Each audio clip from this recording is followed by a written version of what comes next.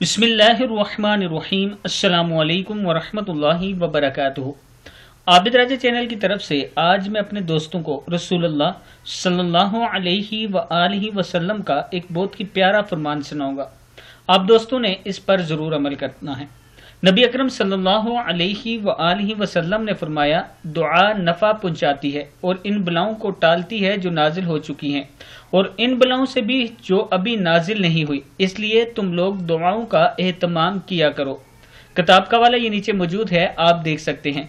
यानी नबी अकरम सल्लल्लाहु अलैहि व आलिहि वसल्लम ने फरमाया कि अल्लाह से हर टाइम मांगा करो, दुआ किया करो।